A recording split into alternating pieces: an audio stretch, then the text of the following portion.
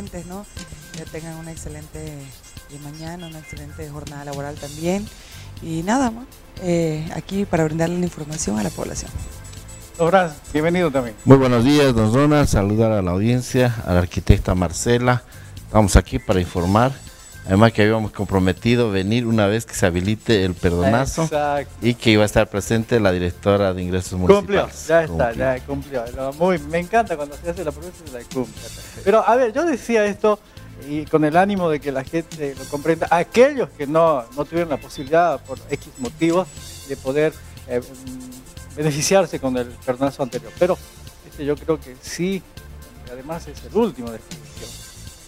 Sí, exacto, es el último. Nosotros eh, con el anterior perdonazo desde un inicio habíamos indicado de que no iba a haber ampliación. Y bueno, se llevó a cabo de esa manera. No hubo ampliación, hubo muchísima gente que se quedó eh, quizás con con la oportunidad eh, de poder beneficiarse de este, de este proyecto de ley, bueno, el anterior proyecto de ley que hubo, entonces a raíz de eso eh, se dio la oportunidad de que se vuelva a hacer un, nuevo perdonazo, ¿no? Bueno, don Franz. Bueno, don Donald, habría que hacer un análisis de cómo está la situación o el comportamiento del contribuyente hacia el gobierno municipal. Lamentablemente no tenemos cultura tributaria y estos perdonazos de cierta forma les favorece para ponerse al día, ¿no? Pero hasta el momento, bueno, la información que tenemos del Ejecutivo Municipal no están, eh, no está, no se está acercando ni al 50% de que el contribuyente cumpla con lo que son sus impuestos. Son facilidades, siempre lo voy a decir, que, se da eh, facilidad para el contribuyente que tiene sus... Eh, sus impuestos acumulados, facilidad para el gobierno municipal que en este momento está pasando una situación crítica realmente económicamente, ¿no? Entonces eh, se hace este, estos perdonazos en base a eso, favoreciendo al contribuyente que está retrasado en sus impuestos o que tiene acumulación de impuestos y también al gobierno municipal que pueda oxigenarse un poco en el tema de ingresos que pueda eh, eh, recabar en este tipo de leyes como es el perdonazo. Arquitecta, eh, hablando ya con números, usted sabe que no hay nada mejor que los números, ¿no? Para demostrar eh, las cosas, sí, sí fue, sí fue mal. Eh, ¿Cómo estuvimos en el anterior perdonazo? Sí, en el anterior perdonazo tuvimos una muy buena aceptación. Fueron como dos meses. Sin embargo, la aceptación fue grande. Se recaudó excelente, podríamos decir. Pero sin embargo, la preocupación en realidad viene eh, reflejada en la mora que tiene el municipio. ¿no? Hablemos porcentualmente para que la gente lo comprenda Mire, nosotros eh, a inicio de gestión la mora era de 70 millones aproximadamente, 70 millones, ¿no? 70 y fracción.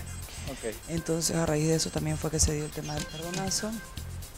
Se ha podido recuperar bastante, pero como el honorable lo acaba de mencionar, eh, tenemos una pequeña, gran deficiencia, como lo podemos mencionar, que es la falta de cultura tributaria, ¿no?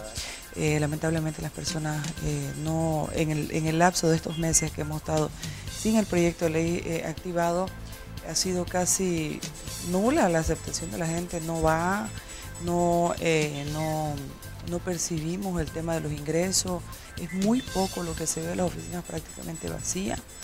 Y eh, bueno, considerando esa situación y considerando, vuelvo a repetir, el tema de la mora tributaria que existe en el municipio, eh, fue que se lanzó este nuevo perdonazo. ¿no? El último de la gestión, como usted lo acaba de mencionar, entonces hay que aprovecharlo. Eh, no va a haber ampliación, nuevamente no va a haber ampliación, es el último perdonazo, entonces no esperemos al, último momento. Una vez más, vamos a, recurrir a lo siguiente.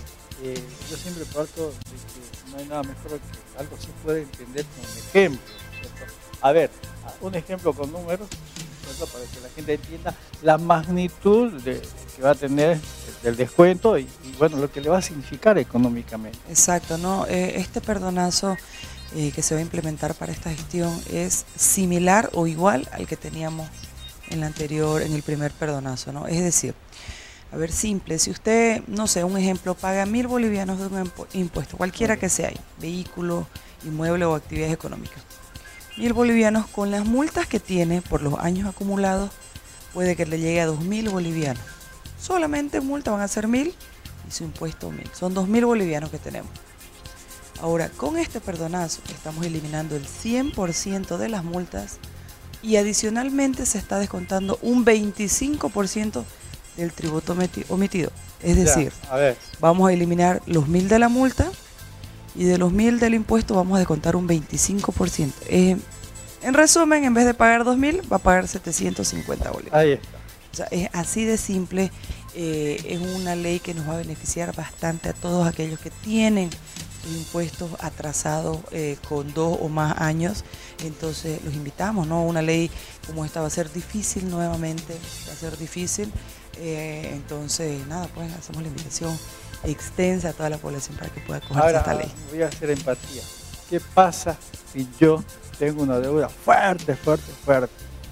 Y no me da para poder pagar en uno todo. ¿ya? Eh, ¿Habría la posibilidad de que pueda tener la oportunidad de parcelarlo? Claro que sí, nosotros eh, siempre mencionamos de que existe la posibilidad del tema de los planes de pago, ¿no?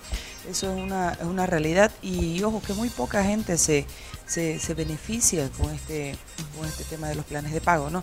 Eso que lo hacemos conocer constantemente, pero por Z o motivos no, no, no lo toman en cuenta, ¿no?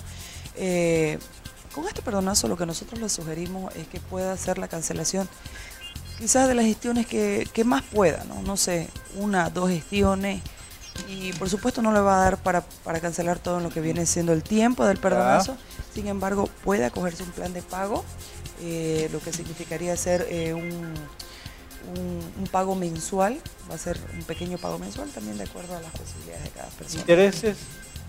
No, no, no, no. No, o sea, le digo, no, porque a veces... ¿no? acá estamos disipando todas las dudas. Solamente que, ojo, termina el perdonazo y el saldo de lo que quedó, o sea, la deuda que quedó pendiente vuelve a su estado normal. o sea, si usted pagó una o dos gestiones, perfecto, se le descuenta esas dos gestiones y lo que quedó pendiente vuelve a su estado normal con, con, sus, con sus multas y lo demás.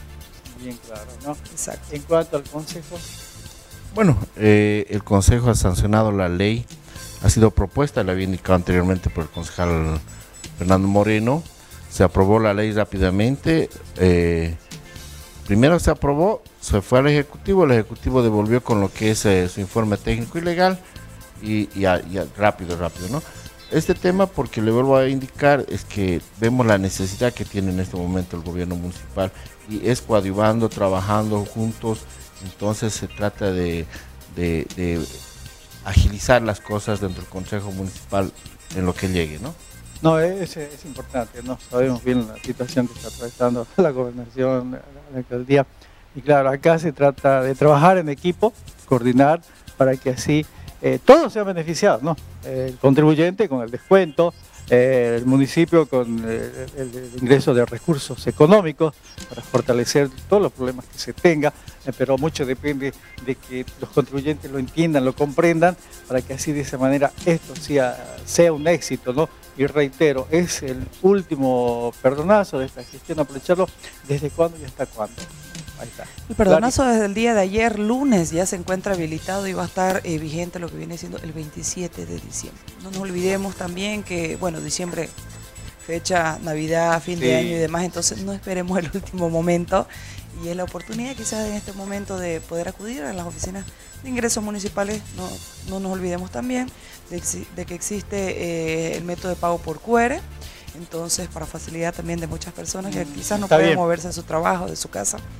Entonces los esperamos, los esperamos para poder atenderlo eh, de la mejor manera posible, ¿no? Bueno, invitar a la población de que pueda acudir eh, a, ser, parte de este perdonazo. Sabemos que la situación de en todo el país es crítica económicamente, pero esta facilidad que está dando el gobierno municipal y el consejo municipal es grande. Imagínense, al tributo emitido bajarle el 25% más es mucho es muy beneficioso. Entonces invitamos a la población desde, bueno, desde el 4 de, noviembre, que era ayer, hasta el 27 de diciembre. No va a haber ampliación porque es de gestión, entonces tomar en cuenta y no esperemos al último momento. Empecemos a ir a, hacer nuestra documentación, a, a, cancelar, porque muchas veces el último día o los dos últimos días es totalmente lleno y ahí es donde empieza la protesta. Cuando tenían casi dos meses para poder hacer su pago, los últimos días empiezan a reclamar que el funcionario no, no agiliza, no trabaja, las máquinas no dan. Entonces, para evitar todo ese contratiempo, invitamos que la población pueda participar o ir a ingresos municipales desde, bueno, desde ayer hasta el 27 de diciembre, ¿no? Muy bien, muchísimas gracias.